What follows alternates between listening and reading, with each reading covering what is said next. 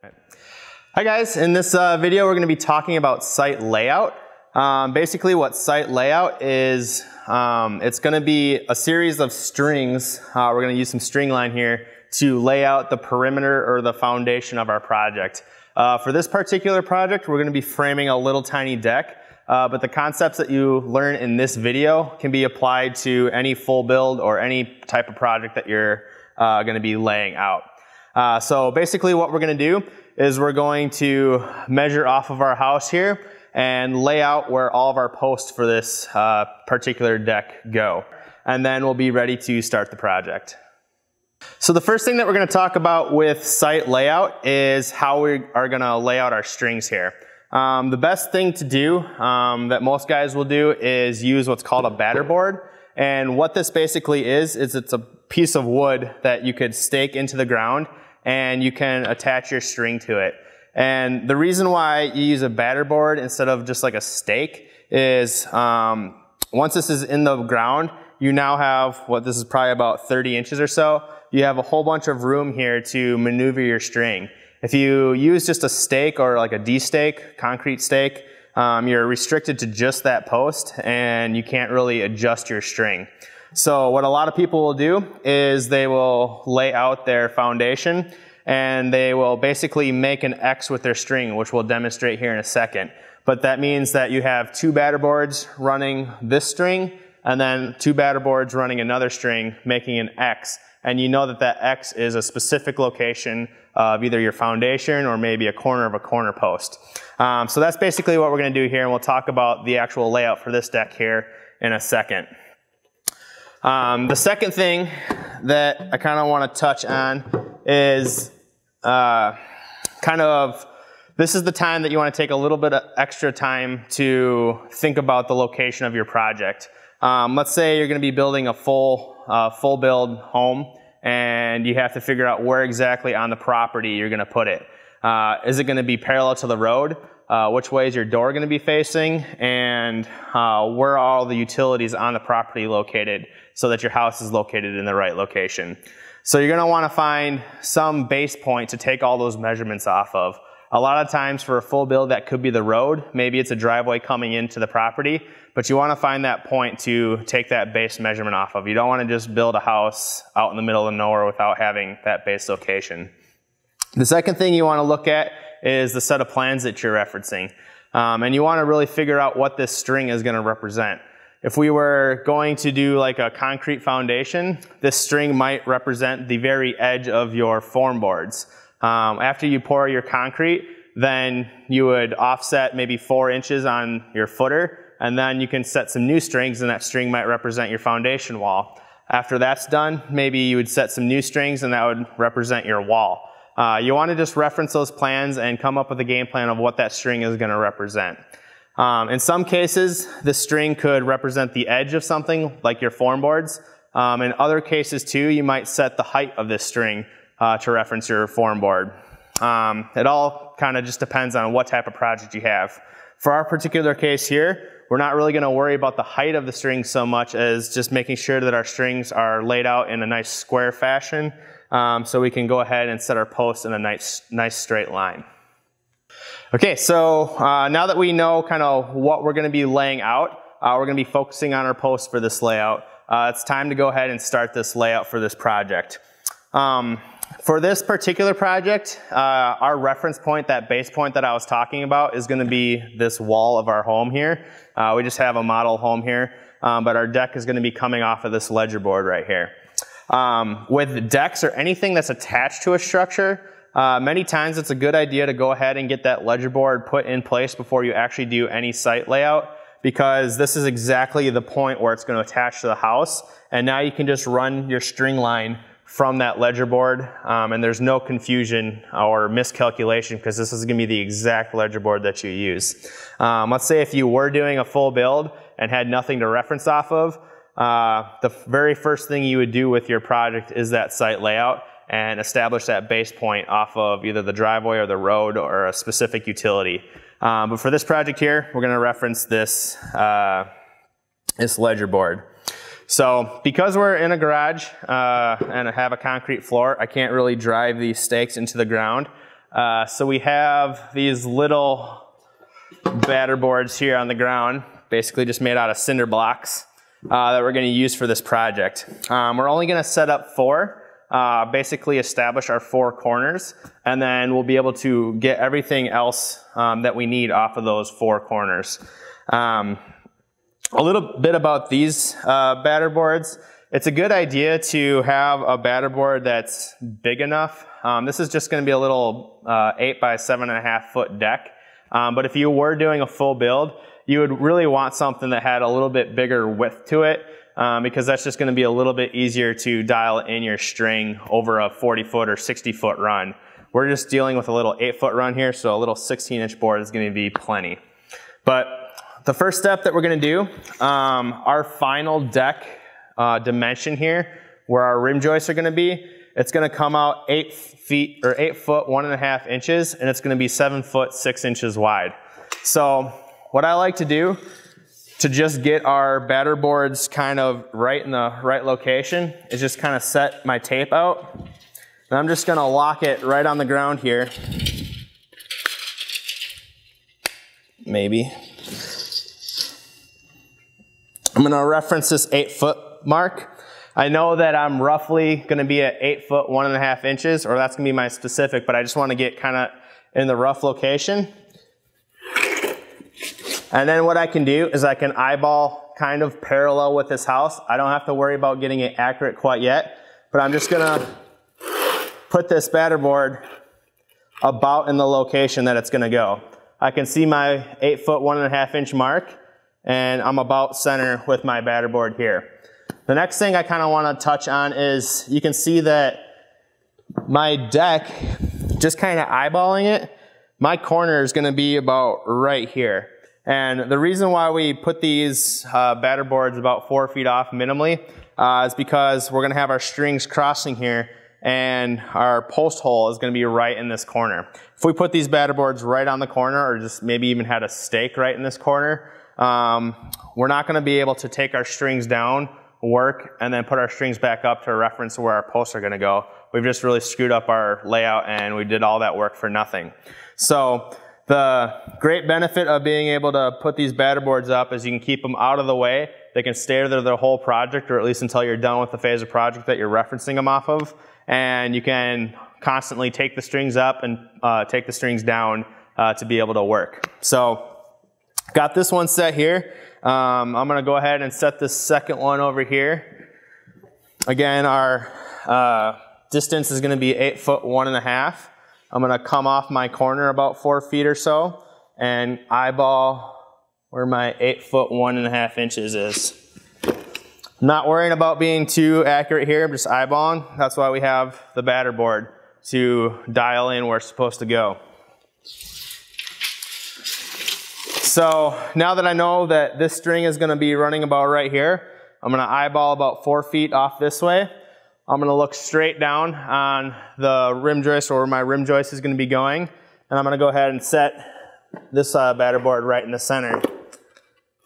Again, not worrying about being too accurate yet.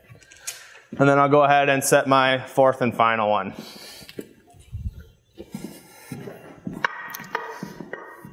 Coming about four feet off of that line, eyeball in center, and setting that up. All right, so now that these are all set, you wanna just double check that these are in a location that they're not gonna screw up the rest of the project because we're not gonna want these to move until our posts are set. So these are in a good, pretty good position here, uh, they're out of our way. Again, I can see my corner is gonna be about right here and about right there. I have plenty of room to dig a post hole, get the dirt out of the way, and then I can put my lines back up. One last point that I kind of want to touch on with these batter boards is it's kind of important to try to get them about in the same plane. And what I mean by that is we're going to be running a string and you want to get these somewhat level because as these strings come across and cross, you want them to be almost touching or pretty much touching. If you have this batter board set way up here and this batter board set way down here and your strings come across and they're about a foot apart, it's going to be really hard to get an accurate measurement right where those strings cross. So take a little bit of extra time and if you are pounding your batter boards down um, into the ground with uh, stakes, make sure you get them about the same height. Okay, so we got our batter board set up. Uh, so what we're gonna do now is set our first string. Um, and all we're gonna do is we're gonna go ahead and attach it. Um, like I was saying about getting these strings all on the same uh, plane, our ledger board is up just a little bit. So I went ahead and put these scrap pieces of 2x4 right on the edge of our ledger board here. And what that's gonna do is it's gonna allow us to bring our string down uh, to the same level as where these, where these guys are at um, and it'll make our lines just a little bit more level. Um, it also helps out because now I know the inside of this uh, 2x4 here is going to be exactly where our line needs to go and it's going to give us a little more surface area to nail to. Um, so what we can do is I already have a nail in here. Go ahead and tie a loop and put it on the back side here. And like I said, with it being able to run right on the inside. I put this nail on the back side. That way, as we pull this string tight here, it's gonna sit nice and flush to uh, the edge of this board. Uh, if I put a nail here, I could go ahead and tie a knot and put the loop on here. But now that knot is gonna be a little bit thicker than the string and it's gonna push away from this uh, 2x4 here, and it's just not gonna be as accurate. Uh, when you do site layout, um, a lot of people say, you know, like as long as it's within an eighth inch or a quarter inch, it's going to be good. Uh, but this is where you just want to take your time and get it exactly spot on because that eighth inch might uh, kind of grow or multiply as you go on up. Um, and if maybe your walls aren't perfectly level, if you get your walls within an eighth inch, now by the time you're up to your roof framing, everything's gonna be unsquare. So take your time here, get everything square, and the rest of your project will go much smoother. So I'll go ahead and bring the string out a little bit, come out to my batter board, and get a nail out here. And what I'm gonna do is I'm just gonna eyeball this.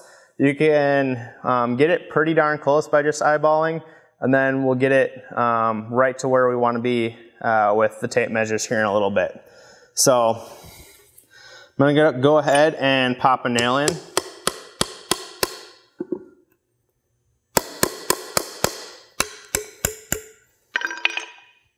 And then what you wanna focus on doing here is tie a knot just a little bit short of, or a loop I should say, short of the nail because we want these string lines to be nice and tight. We don't want any slack in these string lines. So you can see that this string has no slack in it. If I tied a loop right out here, now our string is floppy and we're not gonna be able to get a very good measurement off of that. So tie it just a bit short, go ahead and stretch it and put it on the nail.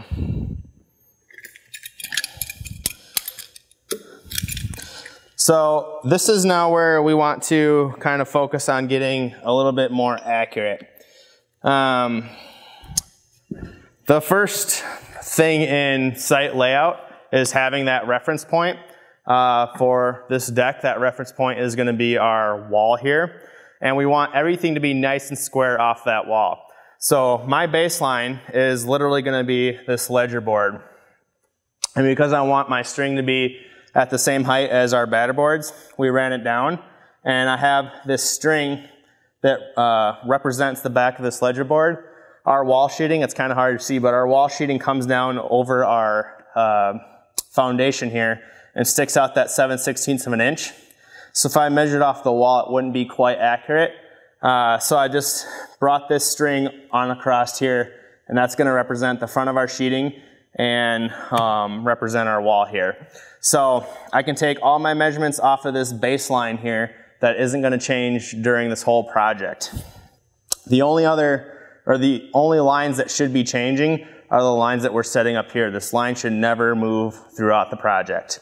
So kind of the, the way we're gonna go about this here, we have our baseline. We're gonna go ahead and set one line that's 90 degrees to that baseline. Then we can set a parallel line from our baseline. And since we know that this line is parallel to that baseline, we should be able to set a second parallel. So baseline, 90 degrees, parallel, parallel. Um, and that's going to be the stage of our project here. And the way we do that is a method, actually two methods. We're gonna be doing a three, four, five triangle, which basically creates a 90 degree triangle. If you have one leg that's three, one leg that's four, the hypotenuse is gonna be five. Uh, so we'll show you how to do that here in a second. Um, but then after we get the baseline 90 parallel and parallel set up, we'll be able to measure our diagonal measurements. Uh, geometry tells us that if our diagonals are exactly the same measurement, then we know that our uh, square or rectangle is exactly square, um, or at least 90 degrees in each corner. So that's what we're gonna do next. Um, I'm gonna get Azad out here in a second and get a couple tape measures and we'll lay out our three, four, five. All right, so I grabbed my tape measure here and what we're gonna do is we're gonna go ahead and lay out our three, four, five. And again, basically what a three, four, five is, is meaning we're gonna have, or we're gonna try to make our right triangle. So one leg of our triangle is gonna be three, the other leg of our triangle is gonna be four, and we're gonna connect that hypotenuse and it's gonna make five. Um, but to be a little bit more accurate, we're gonna do a multiple of a three, four, five. So we're gonna multiply everything by two and do a little bit of math. So now it's gonna be a six, eight, 10. Basically, three times two is six, four times two is eight, and five times two is 10. So this is the, the corner here that we're gonna wanna make exactly a 90 degree triangle. So what we've already actually done here is right from this edge, we've come out. I've decided this leg is gonna be our uh, long leg. It doesn't really matter which one's which, as long as our hypotenuse is always gonna be 10. Um, we were able to fit our eight foot on this one and our six foot on that one, so that's kind of how I decided. So I'll come out, and again, it's really important. I'm not touching the foundation with my tape. Um, those blocks, again, just extended that edge of that sheathing down. I'm technically measuring off the front of my sheathing right now and not touching that block. That's about a or 7 16ths difference. So I'm off the front of our sheeting. I came out, measured 8 foot, and I went ahead and took a Sharpie and made a mark here. And when I made that mark, I was really careful not to touch my tape measure to the string and we want to be nice and accurate and make a nice precise mark. So I got my eight foot here. I did the same thing. I went off the inside of this block here, again, because this is going to be the edge of our rim joist. Came out, and I went ahead and marked six foot right here.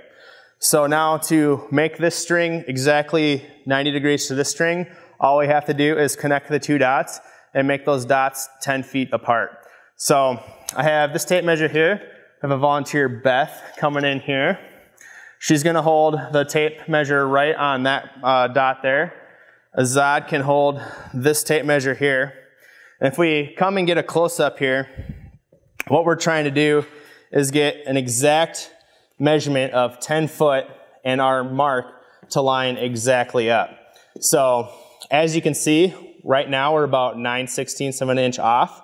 So what I can do and this is why our batter boards are so important. I can get an extra nail here, remove this string, and now Azad can guide me to which direction I have to go to make our two marks line up, our 10 foot mark and our, um, our string mark. That's good right there. Right there? Good, Beth? Yeah. Nail it.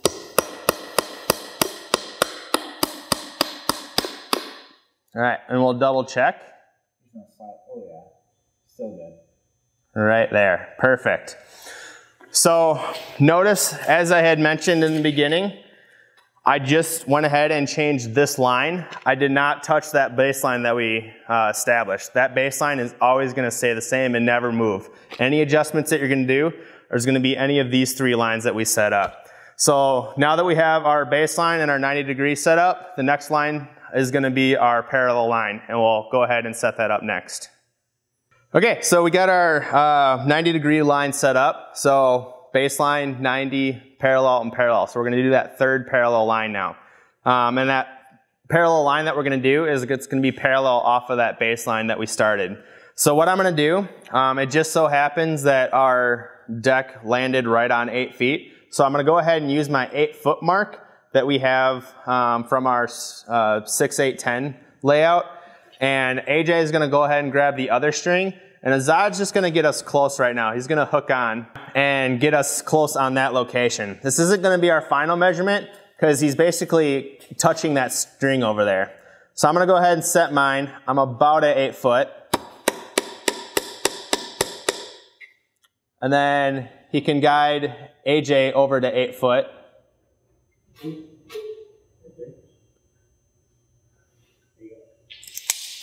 right, and he's gonna pop a nail.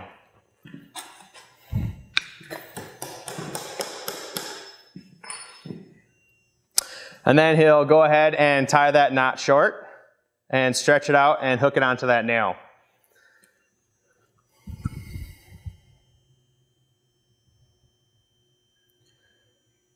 Perfect.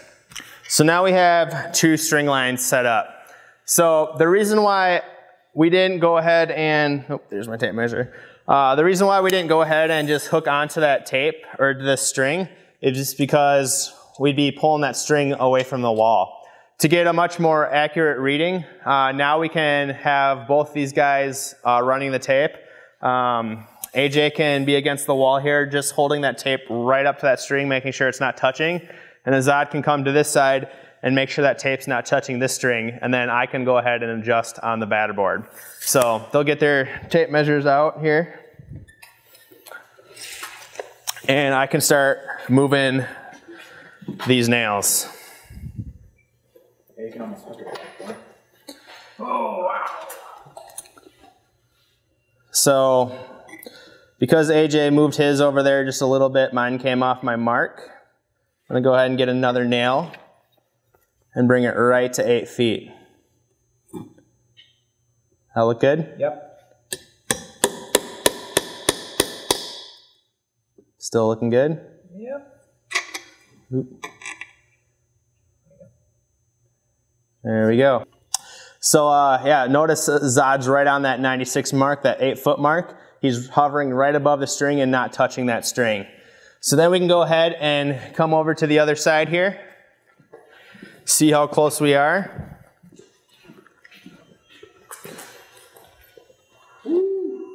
Again, AJ is not touching that string. We're pretty close. It looks like we're about an eighth, eighth inch over. Yep. So I'm just gonna go ahead and drive another nail really close here. Again, that eighth inch is gonna matter here.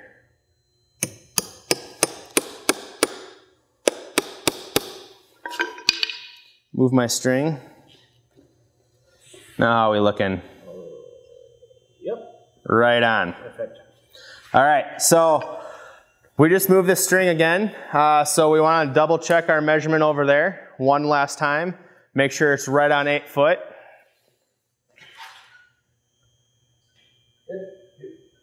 Right on eight foot. So now we got our 90 degree line and now we have our first parallel line. The last line that we have to set up here is our parallel line coming off of our 90 degree line, which we'll go ahead and do right now. So we'll grab our string line wherever it ended up, still over here. We can chop it off, tie another loop. Again, because we're going off of our ledger board here, we know that this is already right at seven foot three from this side. So I'll just go ahead and tie a loop. And then we'll run this string out, hold a tape from our 90 degree line here.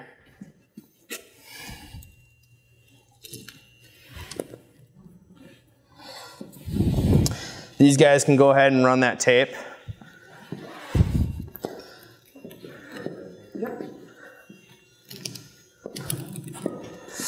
I'm gonna go ahead and tie a loop here. And because we know that both of those lines that we just set are in the exact right location, we should only have to take this one measurement and we're gonna be pretty darn close. So Azad will guide me in. I'm looking for seven foot three. We're gonna burn an inch here. Yep, and we're gonna do what's called burning an inch. Um, because we could actually hook onto the back of our uh, uh, sacrificial board that we put on the edge of our ledger board, uh, that's gonna be a really accurate uh, measurement. But because we can't really hook onto our string, uh, it's gonna be a lot more accurate holding at one inch uh, because you can hover over that inch. You can't really hover right on the edge of a tape measure because maybe it's bent a little bit or the end of the tape measure moves a little bit. So we're gonna do what's called burning an inch. And AJ is gonna hold right at one inch. Some guys will burn a foot. It doesn't really matter what you burn. You just have to do that math and make sure you're at that same amount that you took off um, at your measurement. So you're burning an inch, AJ? Yep. So our final dimension is supposed to be seven foot three. He burned that inch, so now we're gonna look for seven foot four. I'm gonna bring my mark out to seven foot four. Azad's just touching the line, or just hovering the line there. Look good right there? Yep. And I'll set my nail. All right. So we want to check that just one last time here. Inch. Burning that inch. Good. Right on seven foot four. All right, so we got our baseline set. That's never changed. We got our 90 degree line. We got our parallel line, and we set that second parallel line off of our first 90 degree line. Theoretically, uh, we should be nice and square right here, uh, but we can do one last check to make sure that we are spot on. And what we're gonna do is we're gonna do um, our diagonal measurements. Again, uh, geometry says that if both of our diagonal me measurements are exactly the same, that means all four corners are exactly 90 degrees, um, 90 degree angles. So what we can do is hold on one corner. And it's real important, especially measuring from the corner. Uh, Azad's gonna pick one edge of the tape. Looks like he's picking this edge. And I'm also gonna read off of that same edge of the tape. I'm gonna pull and get all that slack out, looking, and I'm right at 129 and a half. So now, if he comes to this, or this diagonal here, and I measure out to this one, coming off this side. So he switched sides on me.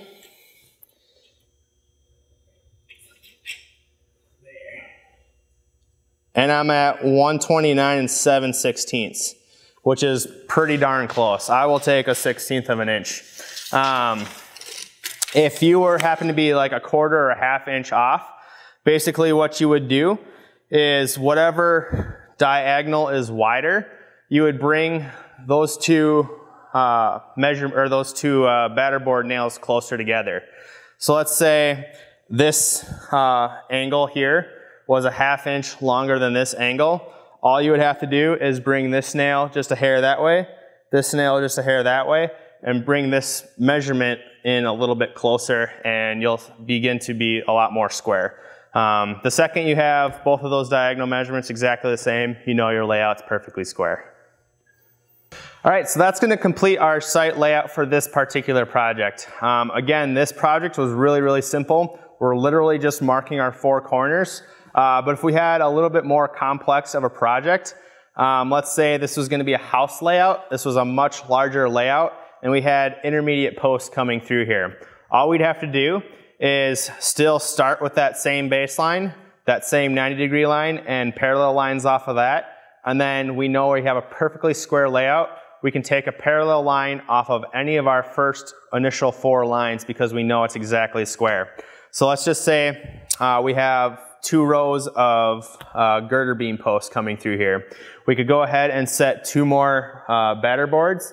We could attach that string and we could reference our baseline here and make it parallel. Um, that way we know the edge or the corner of those posts would run along that line. Same thing with this row. We could add two more batter boards, reference off our initial baseline, and get another parallel line. Um, this uh, deck is gonna have a set of stairs. Uh, I don't, I'm not gonna lay out the post for that stairs yet, um, but we have our initial deck here, and we could have a set of stairs coming off of here. I could set those other two batter boards um, right now. I'm gonna wait until um, we actually get our deck built so they're not in our way.